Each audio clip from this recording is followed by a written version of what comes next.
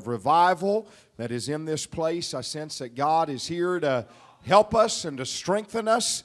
How many came to give God praise and glory in the house? That's what He is worthy of. He's worthy of our worship. And uh, I'll say this I was reading recently in Psalm chapter 47. Uh, uh, this is not the message tonight, but I feel like sharing this. That's become one of my favorite Psalms of late. Psalm 47. Bible scholars say that it is an acrostic or an acronym. Of course, us English speakers and readers, we don't recognize that. There's just nine little verses in that chapter. But they say if you go back and you would read it in the original Hebrew language, the first letter of each verse spells out a phrase or a sentence. And here's what it says rip apart the devil. Amen.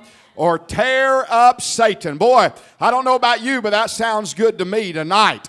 That sounds like something I'd like to do right now in this revival. You know, if we'll be honest, it seems like uh, everywhere we look in this world today, the opposite is happening. And I don't want to bring doom and gloom in here, but we look around, the devil's tearing up lives, tearing up homes, tearing up nations, tearing up churches, even.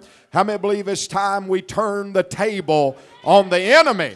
Time we take authority over him.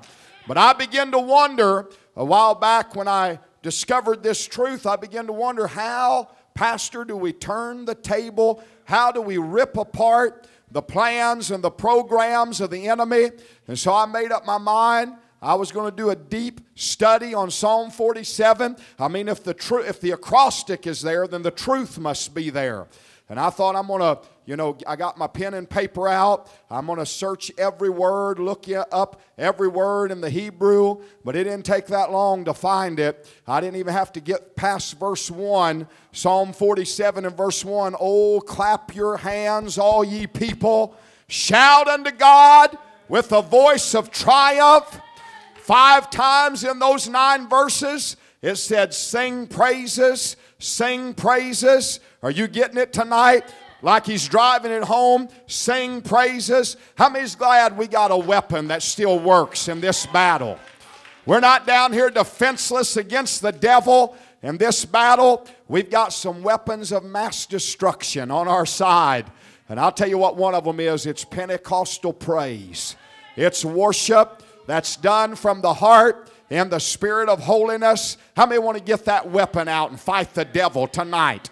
I'd like to get that weapon out and put the enemy on the run. I believe we can. Amen. I've said it a lot. When praise goes up, God shows up. And I want God to show up. God inhabits the praises. And the Bible said of Israel, we say of his people, Amen. How many believe if we worship him, he'll come close to us tonight? Amen. I feel him here, and I don't want to quit giving him the glory. I want him to come closer. You said he passed by, and that brought revival. I'd like him to pass by and get close enough to touch us tonight. Amen. I feel him in this house. Revelation chapter number one. If you have your Bibles, let's go there together tonight. Revelation chapter number one. That's where I feel the Lord pointing me and directing me. Revelation chapter 1, God gave this to me two or three days ago uh, for this revival. So I'm not going to say it's hot off the press, it's off the press. I need the Holy Ghost to make it hot make it on fire. So I pray he'll come by, and I'm just going to give you the burden of my heart. Nothing fancy, nothing I've preached and tried uh, many times in revival. Just going to preach the burden of my heart. Revelation 1. While you're turning, let me take a moment. You can stand. I won't take too long, but I want to thank you. Uh, thank you so much, Broadway Assembly, for all your hospitality, uh, the giving and the offering. May the Lord richly bless you for that. We don't take your sacrifice of giving lightly. We thank you for that. Thank you, Pastor Jones and your family, and uh, Brother Cruz and his family, and just everybody in the church have showed us so much hospitality. You don't have to go down south to find hospitality. You know that? My wife's from Columbus, Ohio. I heard her say amen.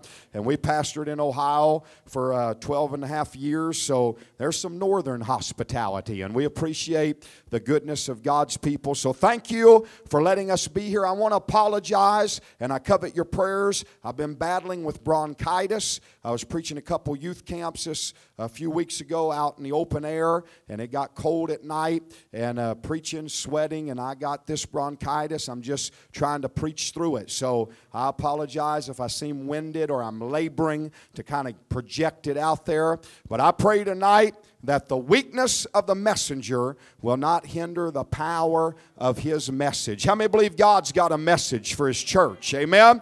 Revelation 1. If you got it, say amen. Let's begin reading verse number 9 tonight.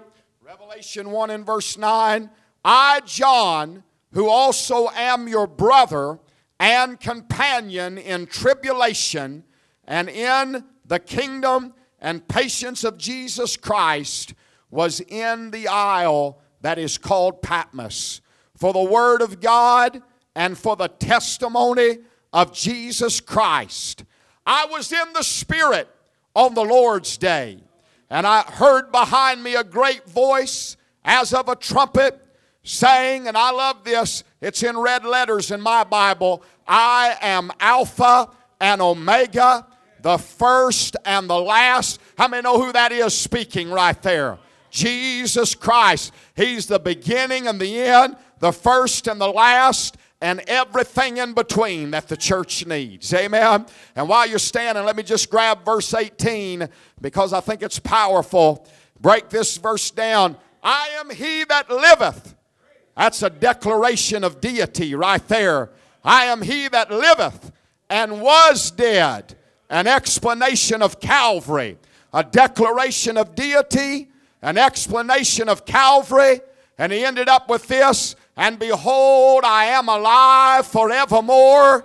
And I hear those keys rattling, and I have the keys of hell and of death. That's a proclamation of victory. How many's glad for victory in Jesus tonight? It don't matter where you're at, what you're going through right now. If you got Christ, you got victory in the end. Amen. You can be seated tonight. Thank you for standing for the word of the Lord. I want to draw your attention back to verse 9, verse 9 and 10. I want to compare these and contrast these. You've probably even noticed this sequence in the scripture. John said in verse 9, I was in the isle that is called Patmos. I'd have probably said it a little different. I'd have said I was on the island. I was trapped on an island. But John, under the inspiration of the Holy Ghost, said, I was in the isle. And I think that's fitting. How many's ever been in something you wanted out of, huh? Hey, man, we say, I'm in trouble. Help. I'm in the trial of my life. I'm in this circumstance or situation. John was in the isle that is called Patmos. But I love verse 10 everything changes. He said, I was in the Spirit on the Lord's day. Amen. From in the isle to in the Spirit, just like that. And you remember, I'm not going to read on for the sake of time, but when he got in the Spirit, you read right later in Revelation, he said, He carried me away to a great and high mountain. He showed me that holy city, that new Jerusalem coming down out of heaven. And before long, before the story's over, John got off of Patmos, out of Patmos. Amen. I want to preach a few minutes tonight on the only way out is to get in. Amen. You understand what I mean? Sometimes the only way out of our trouble is to come to church and get in the Spirit of the Lord. Hallelujah. Would you lift your hands one more time tonight? Can we just pray together? Lift your voice. Let's pray in concert. Heavenly Father, we love you tonight, God. I thank you for your word. It is life, it is truth. Will you hide me behind the shadow of the cross tonight? Strengthen my body, God. I pray for that anointing that makes preaching more than a book report. Let it get in the heart of men tonight and let us leave here revived. And we'll thank you for it. In Jesus' name, everybody said amen and amen. The only way out is to get in. I, I read a great story once, and I think it's fitting for what I want to try to preach tonight. It was about a woman by the name of Mary Slessor. Some of you might have read of her or recognize that name, Mary Slessor. She was born in Scotland back in 1848. And as a little girl, just 11 years old, God saved little Mary Slessor. Amen. Started a work in her life. And not long after, at that same altar, God called her to the mission field. And little Mary Slessor was not shy about that. Everywhere she went, anybody that would listen, Pastor, she would tell them, I'm going to Africa someday. I'm going to win souls for Jesus someday. Uh, but there was a problem. Nobody believed her. Amen. And the reason why she came from the wrong side of the tracks, if you will, her dad, Robert Slessor, was the worst drunk in town. In fact, everybody in her family tree, they were all criminals and uh, uh, rebel rousers and alcoholics. Uh, and when little Mary Slessor began to grow, uh, the devil began to torment her. Uh, you know how he talks, don't you?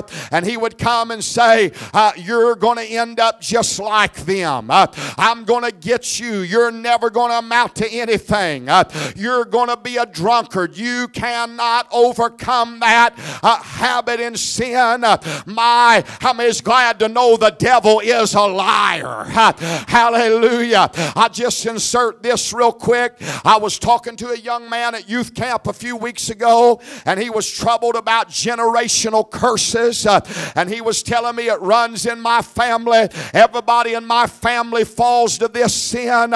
Everybody ends up this way. Amen. I was able to tell him when you got saved, you got in a new family, the family of God. Hallelujah. I love that Bible word regenerated. You ever notice what's at the heart of that? The root word of regenerated is gene. Amen. We say it's in my DNA, it's in my genes.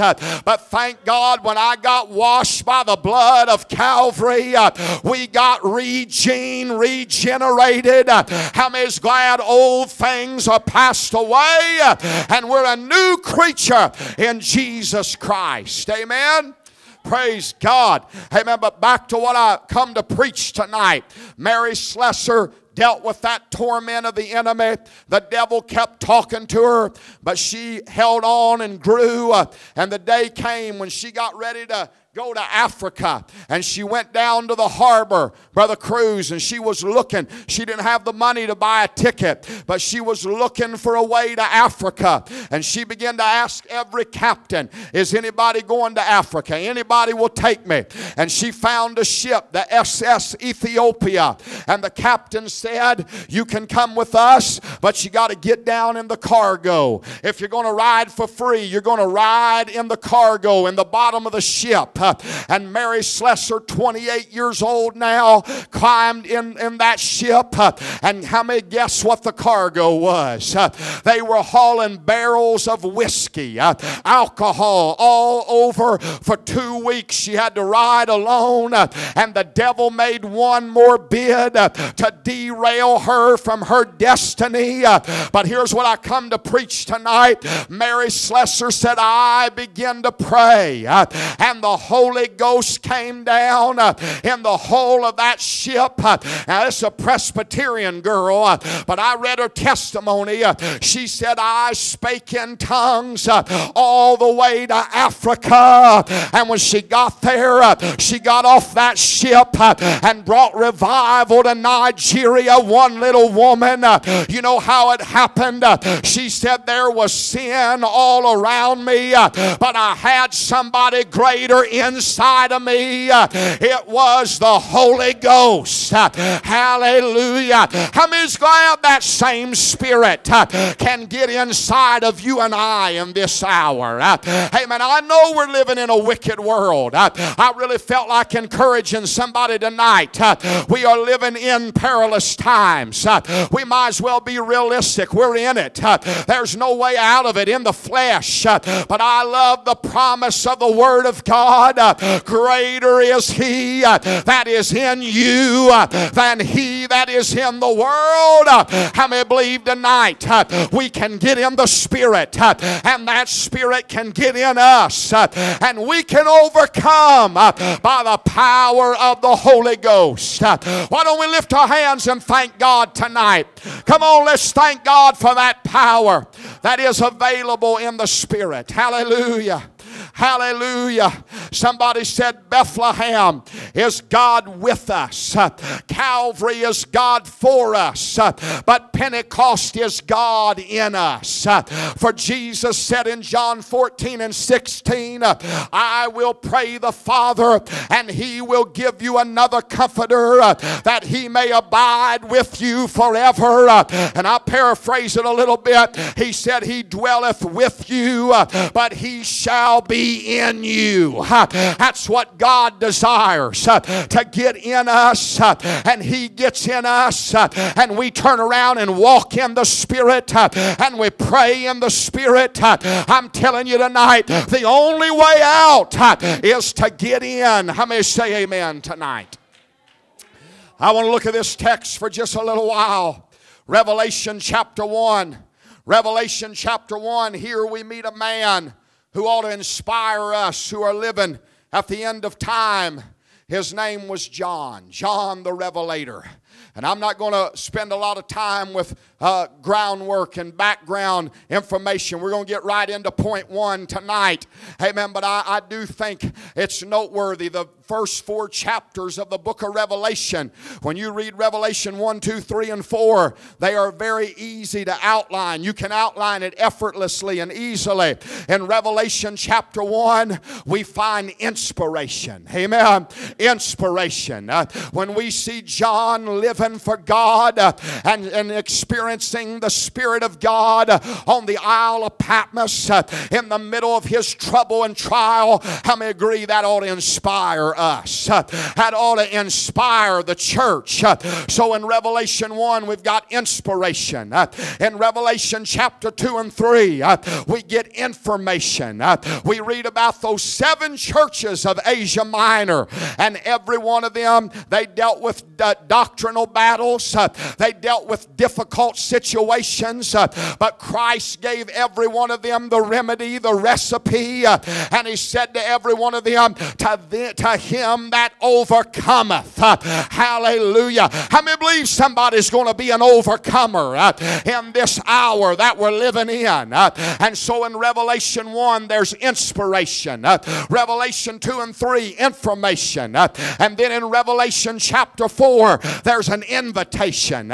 John said, after this, uh, after what? After the church age is over, uh, he said, I looked uh, and a door was open in heaven, uh, and a voice like the sound of a trumpet uh, was talking. How many remember what he said? Uh, Come up hither. I don't know how everybody believes about the coming of the Lord, and I didn't come to butt heads doctrinally, but I believe that's the rapture right there. The sound of a trumpet, the church going up uh, and leaving this world. Uh, I'm glad there's an invitation, uh, and I'm glad I got the information but right now, tonight, we need a little inspiration.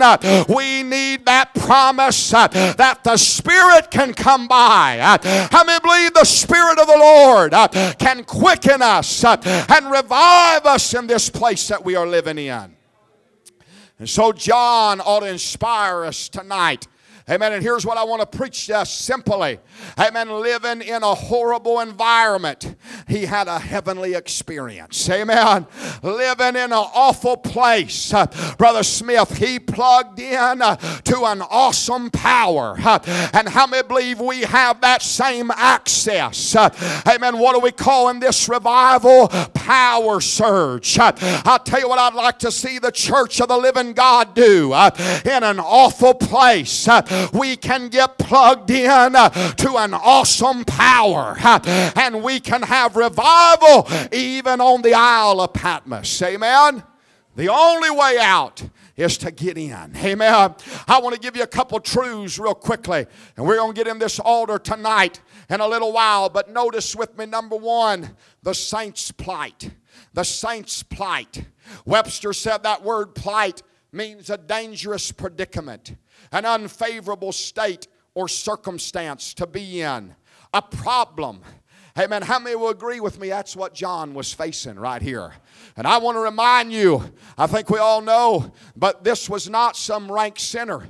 This was not some heathen that I'm talking about. This is John the Apostle, John the Revelator, the beloved, uh, the one that wrote the Gospel of John, uh, the one that wrote 1st, 2nd, 3rd John, uh, the one, amen, remember what he called himself in the Gospel? That disciple whom Jesus loved. I remember where John was at the Last Supper. He wasn't distant from Christ, he was leaning on his breast. Amen. This was a man who was close uh, and committed and consecrated uh, to Christ. Uh, but what a lesson this is for us. I may realize that even saints are going to face sorrowful situations. Come on now. Amen. Even the pure are going to face a Patmos in their life. And I felt a burden in prayer today Uh, to encourage somebody. Maybe you're here tonight and you're saying, Why me? Why this? Uh, why am I stuck here? Uh, I want to remind you God has a plan uh, even on Patmos. Uh, are you hearing me tonight? Uh, God has a purpose even on Patmos. It could be when I come out of it, when you come out of it, we come out with a greater revelation. Amen. John come off Patmos, but he had a revelation uh, that we're still reading about uh, and preaching about. Uh, he saw Christ in a greater way. And how many believe if we hang on and trust God, there is a purpose even for the Patmos of life. I love that story about Oliver Cromwell. Oliver Cromwell, that great military and uh, political leader in England way back in one of the wars. I forget which one it was, but they were running low on currency. They were out of precious metal. You've read that. Amen. They, they needed to mint new coins, but they had no precious metal. And so, Brother Farley, Brother uh, Oliver Cromwell sent out his soldiers and he said, Go find any precious metal you can gold, silver, copper, whatever, anything we can melt down. Uh, and they came back, and you remember what their report was? Uh, they said, All we can find is the saints. Uh, that's all we can find, the saints. Uh, and what, the, what he was referring to were those little idols. Amen. I better just be honest. The Catholic Church uh, in England had set up, how many's ever seen those little saints they set up? Saint Pius and Saint whoever, Saint so and so, Saint Thomas. Uh, and they said, All we can find is the saints. Uh, and Cromwell's command was this He said, Go get them. Those saints have been standing around idle long enough. We're going to put them in the fire. We're going to melt them down uh, and we're going to make something valuable out of them. Uh, I want to tell you tonight uh, how many know God puts his saints uh, in the fiery trial? Uh, he puts us in the furnace of affliction. Uh, why, God? Amen. Job told me why. When he hath tried me, I shall come forth as gold. How many want to be valuable to the kingdom of God? I said, Is there anybody in the house tonight uh, that says, I want to be valuable. Uh, there is a purpose uh, even for the Patmos of life. Amen. How many believe we ought to just hang on and trust God that He knows what He's doing? Amen. Listen again to Revelation 1 and verse 9. I read it earlier, but let this sink in and put yourself in His shoes. The writer said, I, John, who also am your brother and companion in tribulation. Now, listen to what all he was in in tribulation and in the kingdom and patient. Wait a minute. Is it possible that I'm in the kingdom, but I'm in tribulation at the same time? Is that possible? Yeah. And then he said, I was in the isle that is called Patmos. Now, I think we all understand that this was not some tropical getaway that John was on. Uh, he wasn't on some Hawaiian island somewhere kicked back. This was Alcatraz of his day. Uh, this was a prison for the worst of the worst. Uh, and John was probably walking around, Brother Moody. Uh, I kind of imagine in my mind's eye somebody saying, What are you in for? Uh, are you a murderer? Uh, hey, man, did you to revolt against the government and the king? what are you in for? and John told us what he was in for. He said, For the word of God and for the testimony of Jesus Christ. Wow. Hey, man, how many? Hey, man, all had done wrong was preach the gospel. Hey, man, and now he's on the Isle of Trial. Can I nickname Patmos that? Uh, anybody been on a Patmos lately? Uh, you feel like you're all alone uh, and you're on the Isle of Trial. I come to tell you, you're not going to be alone forever. The Spirit of the Lord knows where we're at and He knows how to come by and lift us up off that Isle of Trial. Amen. Let's just be honest though tonight. How many will admit with me this is the hardest part of our Christian life to deal with? I understand why I'm being chastised when I've sinned and disobeyed God and I haven't done His will. But the songwriter said it in our church hymnal we wonder why the test when we try to do our best. Come on now. Man, whenever when I'm living right and everything's going wrong, uh, man, I'm testifying. Uh, I'm keeping my testimony. Uh, I haven't compromised the word of God. What am I doing here? Man, I, I, you remember the background of this? Historians say, without going real deep into it, that the emperor of Rome at this time was Domitian. Domitian, and he was a tyrant, ruthless uh, he hated Christians. He hated John uh, and the church. Uh, and Domitian claimed, I am God incarnate. Uh, and he set his uh, image up, and uh, or, or he came in person, either one. And the command was that everybody in the land bow down and worship him. And they say when John stood before that image, he turned and preached and said, Domitian is not Lord. Jesus Christ is Lord alone. That's why he was on the Isle of Trial. And I want to tell you the truth of the gospel tonight. If we live for God, uh, sometimes we're going to feel like we're on an island. Hey man, anybody ever been there uh, at the public school at work? I went to public school. Uh, hey man, I was the only Christian I knew of living the way we do. Hey man, and we feel like we're on an island. But I want to encourage you tonight. It's not time to compromise uh, the Word of God. Uh, I don't want to lose my testimony uh, on the Isle of Trial. How many believe it's going to be worth it to stay committed even in times like this that we're living in? How many be honest with me? Can I preach just a few more minutes here? How many be honest and say, I felt like I'm on an island before, trying to live this old time gospel way? Can I tell you a personal testimony? Amen.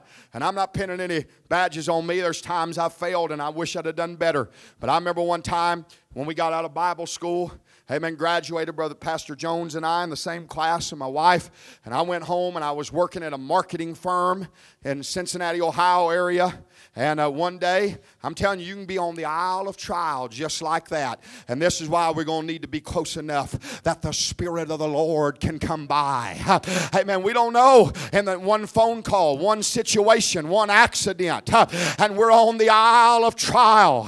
And we need that lifting up in the Holy Ghost. Hey, man, I walked into work one day. I wasn't looking for trouble, fresh out of Bible school. I didn't wake up going to the bar looking for temptation, but I was was there working, and uh, our boss sent a message over the intercom or through email. I forget how it was. And he said, Everybody to the meeting room. We're having a meeting. There's about 250 people. I worked on one level, and they went up higher levels, and uh, uh, literally and figuratively. The guys at the top, some of them I didn't even know, never seen them hardly. But we come in there, 250 of us approximately, in this meeting room. And I'd started working there when I was 16, uh, and I just kind of won favor with the owner. And, and through Bible school and after Bible school worked uh, at that marketing firm. But he come in that day and he said, I've sold the company.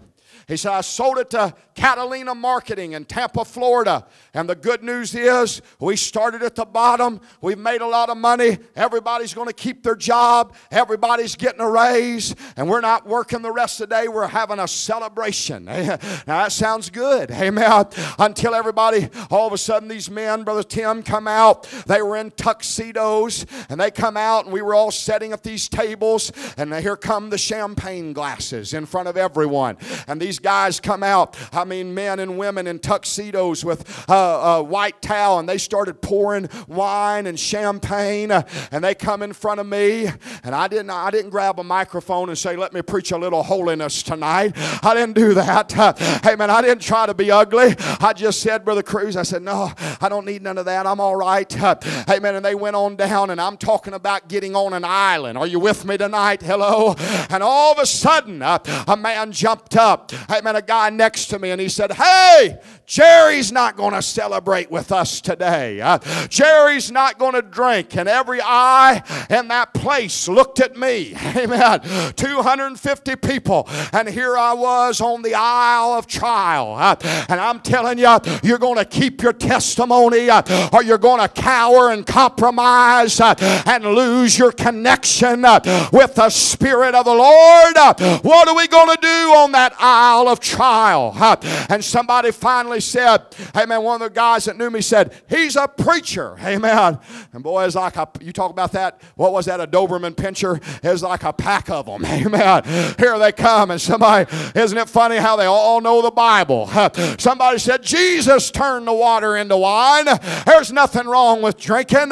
He went to parties. Hey man, somebody else said, I'm a Christian and I drink. Are you saying I'm going to hell? Man, is getting uh, is getting uh, tough on the isle. Hey, man, and somebody finally backed me in a corner uh, and they said, Give us some Bible against drinking. Where's the Bible say uh, that it's wrong to drink? And again, I'm not for being ugly, amen. But when they back you in a corner, hey, we ought to have an answer for every man uh, that asketh the reason of the hope. And I reached into Proverbs. I haven't always been so bold, uh, but I reached into Proverbs and said, Wine is a mocker, and strong drink is raging, and whosoever is deceived thereby is not wise. Amen. Reach over there to Ephesians.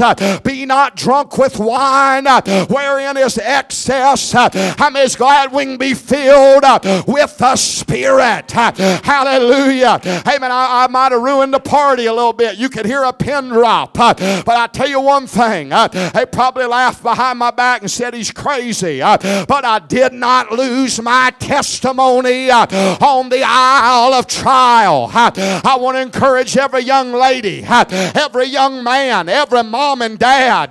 We can stand for God in an hour like this and we'll be rescued when it's all said and done. How many believe that tonight? They put John in oil. That's what the church fathers said.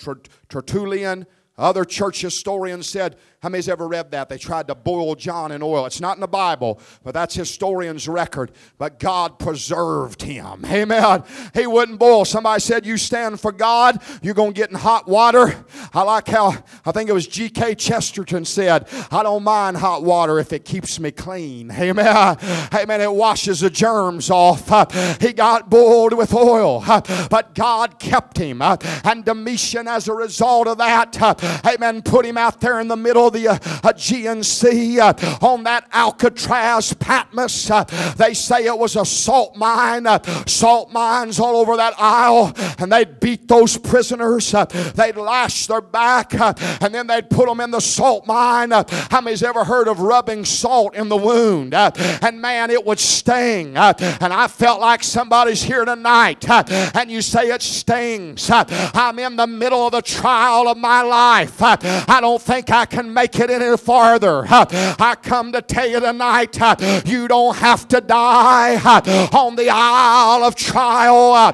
Amen. The Lord isn't done writing the story yet. And if we hang on, it could be tonight. It could be Sunday on the Lord's day. How many believe the Spirit is going to come by and reward and revive the church that's faithful? One little nugget that I, God dealt with me that I love about John. It took him nine verses before he ever mentioned Patmos. Wow. I'm going to be honest with you. I'd have said it in verse 1 probably. Amen. If we were writing this, come on now. Amen. Come on. Let's be honest. Verse 1 Help! I'm on Patmos. Amen. I'm suffering for the gospel. All I've done wrong is live right and stand for God. Now I don't understand what's going on. I need some prayer. But John never even mentioned Patmos till verse 9. What was John taken up with? Verse 1 through 8. He talks about Jesus. He said, He washed us in His blood. Uh, he said, Behold, He cometh uh, with clouds, uh, and every eye shall see Him. What is the secret for surviving our Patmos? We got to get our eyes back on the Lord. His goodness, His glory, His grace. How many want to talk of His wondrous doings? And before we know it, the Spirit of the Lord is going to quicken us. Amen. I'm leaving you with this. I'm winding it down. The saint's plight, the Savior's provision. I'm sorry, the saint's plight, the Spirit's provision. The Spirit's, how many, how many know the Holy Ghost knows how to make an escape route for the church? Amen. How many's ever come to church and you were going through it, and before you know it, you were lost in the presence of the Lord, in the Spirit. And the problems of the day faded. Amen. All of a sudden, the worries were gone, the burdens were lifted. Wouldn't you like to have an altar service like that tonight? Amen. Anybody needs some burdens to be lifted, some troubles to fade away? Uh, John said, I was in the isle called Patmos, uh, but the next thing I know, I was in the Spirit uh, on the Lord's day uh, from Patmos Patmos to Pentecost. Amen. I want to tell you tonight if you've been enduring your Patmos, it's time to enjoy your Pentecost. Hallelujah. Amen. We have to get in the Spirit of the Lord. I read about the processionary caterpillar. Amen. Those insects, those caterpillars live up to their name. Amen. The processionary caterpillar. You can line up five or ten or however many you want, and they'll hook up They'll connect and unite and they follow the one in front of them in a procession. Wherever that leader goes, the whole group goes. And uh, that French uh, scientist, Jean Henry Fabre, Jean Henry Fabre, conducted that test. Some of you have read that story. And he decided to get those processionary caterpillars and he put them on the rim of a bowl seven or eight or ten of them on the rim of a bowl and he put water and food in that bowl pine needles what they feed on what they love to eat. And he just sat back and observed and they did their thing. They united they connected and those processionary caterpillars began to walk around the rim of that bowl brother smith. Day one day two day three day four they had to be getting hungry after a while. Day five day six day seven. You know what happened on day seven they all died on day seven. Uh, they starved to death, no water, no food. Uh, and the sad fact of the matter was this uh, they were inches away uh, from everything they needed, uh, but they were in such a rut of routine. Uh, they were roaming around the rim, and nobody broke out of the procession. nobody broke out. All one of them had to do was break out and get in, and everything they needed was there Uh, and I got to thinking about that. How many know if we're not careful, that's what we do in the house of God? Uh, I didn't come to, amen, rebuke anybody. Wonderful spirit here. Uh, but how many know it is easy to roam around the rim of revival? I said we come to the house of God. I'm in my daily rut, my routine. Got to get up and go to work. And we come in, we sing, we pray, we uh, go to the altar for a few minutes and we go home uh, and we roam around the rim of revival, uh, but we never really get in uh, and get what we need. How many believe tonight it's time to break out of the rut and say, I come to get in the Spirit tonight on Thursday night? Why don't we stand and lift our hands right now and say, God, carry me away in the Spirit and get me out of this situation that I cannot get out on my own. Come on, let's lift our hands and love Him right now. Hallelujah. Oh, hallelujah. Hallelujah. Hallelujah. Hallelujah. Oh, how many would like to stop roaming around the rim of revival and get in where the blessing of the Lord is? That maketh rich. Amen. John was in two locations at once. His physical address was Patmos, but his spiritual address, I was in the Spirit on the Lord's day. You know, we can say that. Can we be two places at once in this wicked world? In Lorain, Ohio, amen, in the last days, but yet walking in the Spirit at the same time, kind of like a submarine. A submarine is in the ocean. They go down to the depths where men would be crushed and drowned. How do they survive? They're in the ocean, but they're in the submarine. Amen. In two places at once.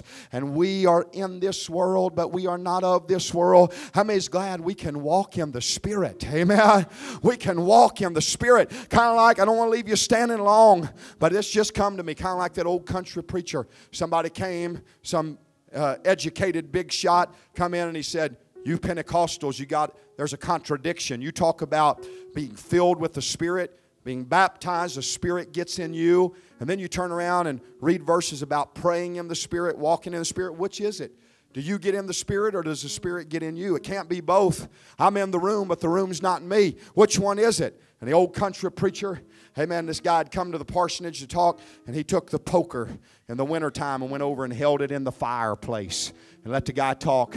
And he pulled it out, and that poker was red hot glowing. He said, Touch it, grab it. No, no, I don't want to burn. I don't want to get burnt. He said, You know why? Since the poker has been in the fire, now the fire is in the poker. Amen.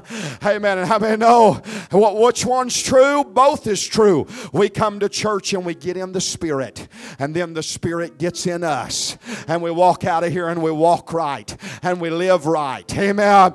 Amen. The saints' plight, the Spirit's provision, the Savior's presence. Uh, Jesus showed up. When John got in the Spirit, Jesus passed by and he said, I turned. I heard a voice behind me. It wasn't some wimpy Savior. It wasn't, forgive me, it wasn't the artist's depiction of a long haired hippie Jesus. Uh, looked like he weighs a 110 pounds soaking wet. You could blow him over, man, with a feather. No, no, no. He said, I saw him. Uh, he had eyes like fire, uh, feet like brass.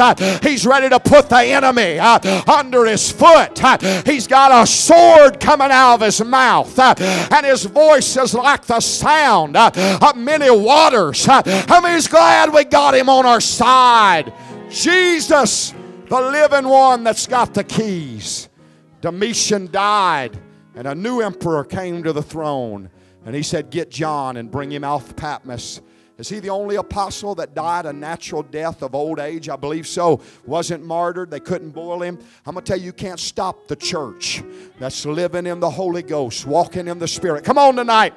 Who would step out and say, Revive me? When I walk in the midst of trouble, that's what the uh, youth pastor said, Thou wilt revive me. Amen. Come on, somebody say, I'm in trouble, but I'm in revival at the same time. Uh, I'm in Patmos, but I'm in the Spirit. That's how I can handle it. The Holy Ghost is helping me to handle it. Amen. Come on, let's seek Him tonight. Let's ask God to revive us again. Lord, send the Spirit of the Lord in a sweeping way.